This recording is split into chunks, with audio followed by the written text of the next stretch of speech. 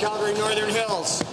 Well, thank you, Mr. Speaker. The Calgary Regional Partnership, or CRP, has been in existence for over a decade now and has been an organization that has helped Calgary Region expand the work together on common interests during that time. With the MGA review and the new Growth Management Board coming to Calgary, to the Minister of Municipal Affairs, what is the future of the CRP, and will the CRP be merged with the new Growth Management Board?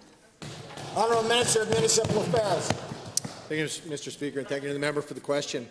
I want to say the Calgary Regional Partnership has done excellent work over the years. And I recently had a great meeting with the board and have committed transitional funding to help assist the CRP as we move forward to establish a new board similar to the Capital Region Board here in Edmonton.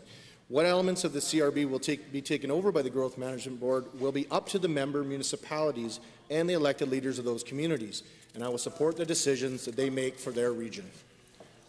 For supplemental. Thank you, Thank you, Mr. Speaker. And given that the CRP covered 12 municipalities such as Turner Valley and Black Diamond, and given that the new growth board is expected to include 10 municipalities and three municipal districts, to the same minister, what will happen to communities that are no longer covered by the growth board? Honourable Minister. Thank you, Mr. Speaker, and thank you to the member for the question. We want to make sure that the right number of municipalities are at the table so the board is as effective as possible. And we are proposing a number of provisions to help ensure this board operates smoothly and that all perspectives are heard. As for Black Diamond and Turner Valley, I have committed to meeting with the mayors again one-on-one -on -one and look forward to discussing the membership issue with them. I will also point out that all communities in the region will have opportunities to collaborate whether they are mandatory members or not. Second supplemental.